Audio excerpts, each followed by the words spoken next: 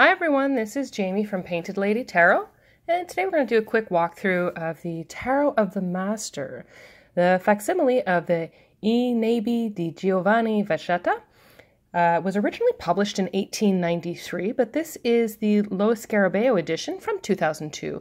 It's the mass market, readily available. You can pick up a copy on Amazon for $20, $25. So it's very reasonably priced. Now, this one comes in just your standard tuck box. Nothing to get excited about.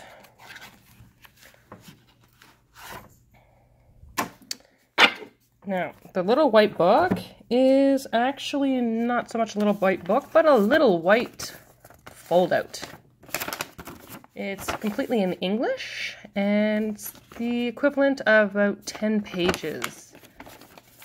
There's a little blurb for every major arcana, a little blurb for each of the minor arcana, but you do have some very interesting information about uh, Giovanni Vachetta and about this deck, which is pretty cool. So there's I like stuff that have that that historical information. So I think it's a it's a win. It's a good one. Now, as for the deck.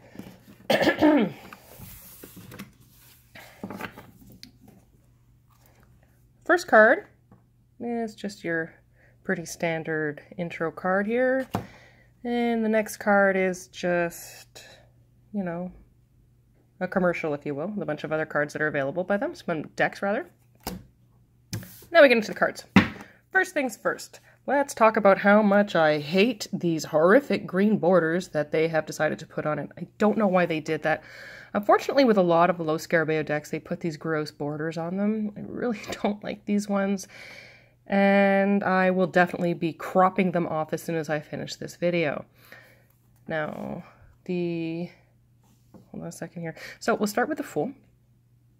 So we have this strange looking Fool. It's a little bit weird. We've got, uh, there's no little white dog. We've got a cheetah instead. Oh, let's also point out the backs on these cards. They decided to basically use the Magician as their card back. It's like in a almost like a greenish gray scale. I I hate it. I'm not a fan, but I don't lay my cards face down, so not a huge, not a deal breaker because uh, no one's going to see them anyway. As for a magician, he's very much like that Marseille style. He looks kind of like a street performer. And uh, let's also look at how cool, see the color scale they used? It's a nice palette that they used for this deck. Now, if you look at the Il Meneghello version of the Vachetta, it's a darker, uh, darker colors that they used. I actually prefer the Lo Scarabeo one. Uh, the Papess.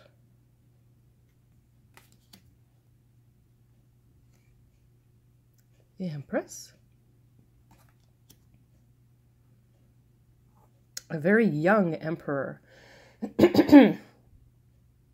and very scowly. Look at the look on his face. He's very unimpressed. And we have our Pope, or Hierophant in this case. And this one's very interesting. Usually we would see the lovers. In this case, it's just love. And it's being portrayed as a cupid. And we see two doves here. It's very nice, actually. I, I like it quite a lot. We have our chariot. It's an interesting chariot. There are no horses. Uh, there's nothing pulling it in this. It's very stationary. very interesting. Here we have Justice. She's uh, pretty standard. The Hermit. The Hermit is really interesting. Uh, I don't think I've ever seen any other decks that have the Hermit just chilling. You see the path, so he's been walking around, doing his hermit thing. He's got his little lantern here, but he was like, you know what? I'm just going to sit down and chill for a while. So you got the chilling hermit. Wheel of Fortune. And this poor woman who's being rolled over by the wheel. Then we have strength. Now, a lot of times with the historical decks, you'll see uh, either it's like the person with a lion or a woman with a pillar. This one they've used the pillar and the lion, and she's got her hand out. She's not even touching the lion. She's kind of like, that's enough. That'll do, pig. That'll do. I kind of dig it. It's cool. It's cool. Our hangman.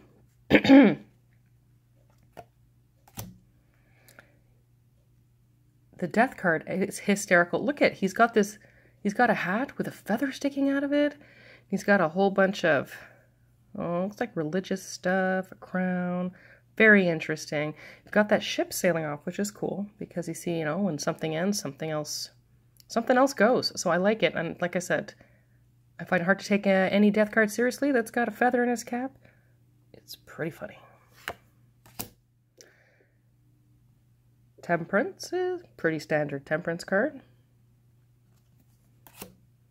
The Devil. This is one of the strangest devil cards I've ever seen.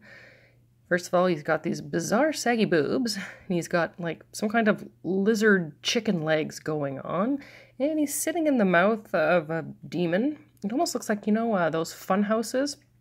Very, very strange. Uh, I'm fascinated by this devil card. The tower, mm, pretty standard. the star, the moon. This is not very standard looking. We see uh, we got our little crab guy here that you know we're used to seeing. Uh, we do have the dog that you know you know really you see the dog, but this one it's kind of got that whole Diana Artemis thing going on with her her bow and her hunting dog. Very very interesting. The sun. Uh, Looks like probably Apollo, I'm assuming. Judgment, also pretty standard, what we're used to seeing in this card.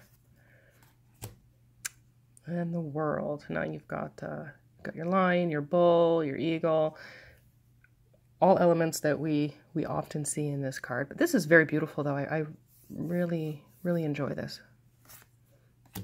Now we get to our pips. Now, this is kind of part of the charm of this deck, actually, is the way that they did um, their pip cards. Usually in the older historical decks, when we're looking at the pips, they're not illustrated anything more than their items. So if it's cups, all you're going to see is cups. If it's swords, pretty much all you see is swords. Now in this one, we get a whole bunch of other elements that they put into the cards, which are really nice to see. And it's also very helpful for somebody who is maybe used to working with Pamela Colman Smith style, where we have the illustrated pips. So these are not illustrated like uh, like an RWS deck, but they're also not as unillustrated as say like an old Marseille. So it's kind of like a happy go-between. I think I would recommend this deck to people that would like to try working more with the unillustrated pips. So our first one here, we've got our cups.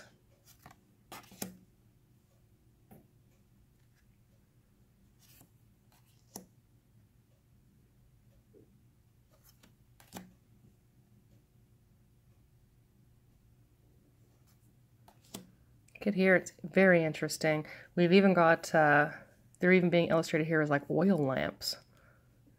That's very interesting. I've never seen that before. Got all these other elements in here. I mean, they're beautiful, beautiful pip cards. I absolutely love these.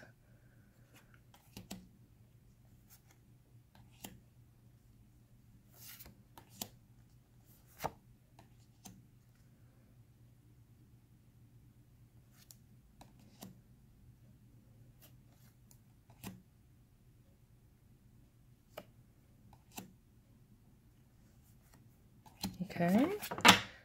Next we have our coins, so the denari.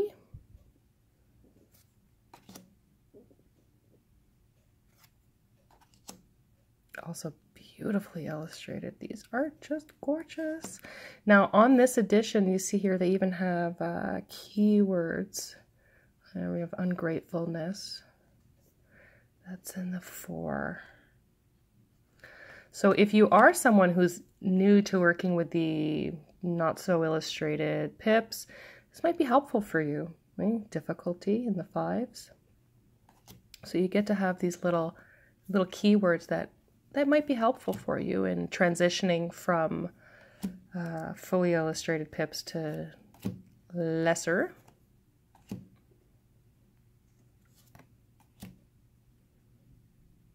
Oh, I like this. Look, reflection. But we've got this, our page, and he looks like he's gambling. Look at that guy with the cards. That's pretty cool. I like that.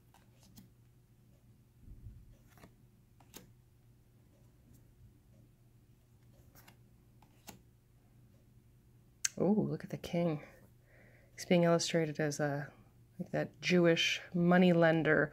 Kind of reminds me of the merchant. What I imagine the merchant of Venice would look like, actually. Pretty cool. I like that.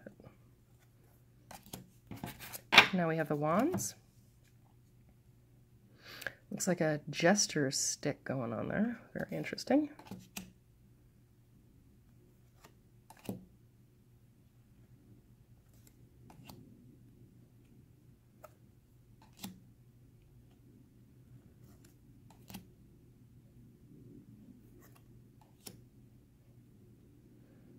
Oh, this card is so cool. Look, at this is the Seven of Wands, but look at all these different things. It's like different tools that have all been like here. You've got like a um, like a cane, and you've got a scepter. You've got oh look a mace. That is super cool. I really like this one. This looks, looks like some kind of a pipe organ, maybe.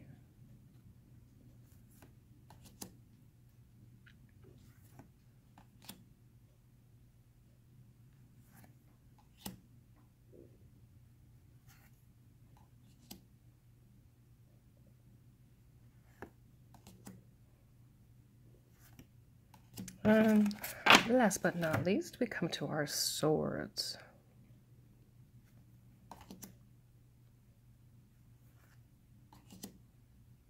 Beautifully illustrated. Uh, I can see why people have gone so nuts over this deck. I mean, it's just, it's gorgeous. Gorgeous, gorgeous, gorgeous. You figure this deck came out about 15 years before uh, the Pamela Colman Smith deck which is nice. We really start seeing how all of these cards are getting together. Oh, look at this. Look at all these nine swords all in that heart. Oh, wow. That's awesome.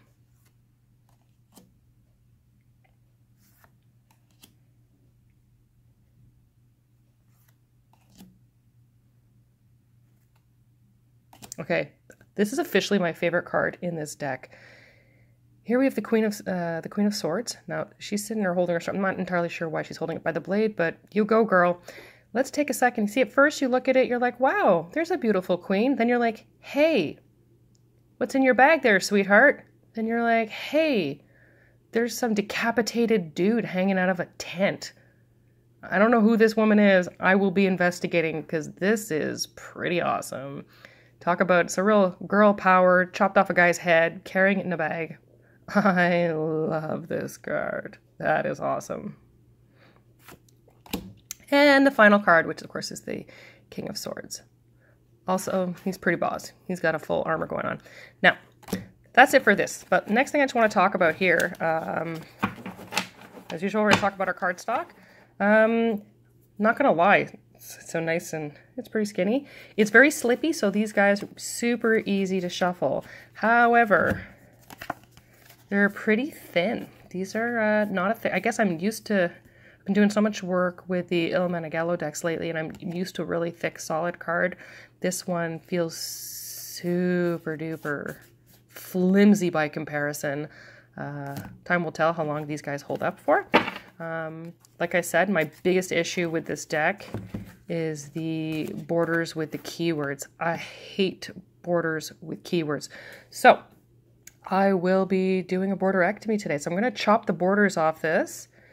When I do my borders, obviously we go with our handy dandy scissors here.